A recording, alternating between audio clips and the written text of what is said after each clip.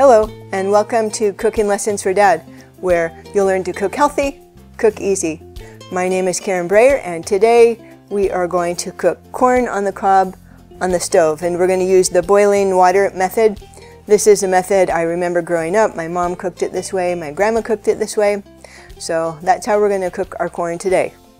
So all you need for this recipe is corn on the cob and water. The first thing that you need to do, if you haven't already done it, is husk your corn. Take all the leaves and the silk off. And if you haven't done that before and you're not sure how, I have a lesson on that. You can check that out. Next, we're going to go ahead and fill our pot with water. We're going to put enough water in so it will cover the corn.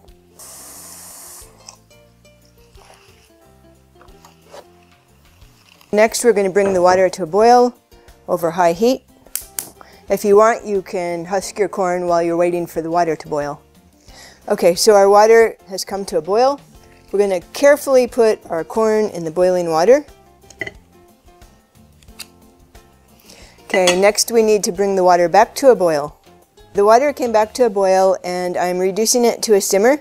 We're going to go ahead and just simmer the corn for four to seven minutes. And I did notice I didn't really need this much water. I could have put a little less and it would come to a boil faster. But anyways, it's fine. So we'll come back in a few minutes and we're going to test it to see if it's done. Okay, our corn's been simmering about six or seven minutes. I'm going to go ahead and check to see if it's done. Take a sharp knife, pierce a kernel, and if it pierces easily, it's done, and it does, so it feels very tender. I'm going to go ahead and turn off the heat, and then I'm going to take the corn out.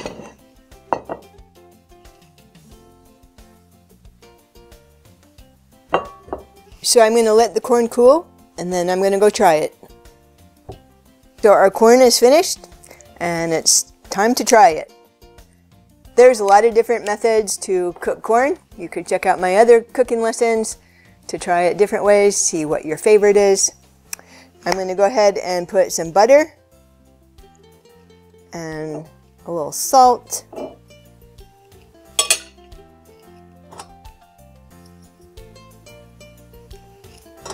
All right, here we go. Mmm, wow, it's so good. It's perfectly cooked. Very easy to make. Try it, and I'll see you in the next lesson.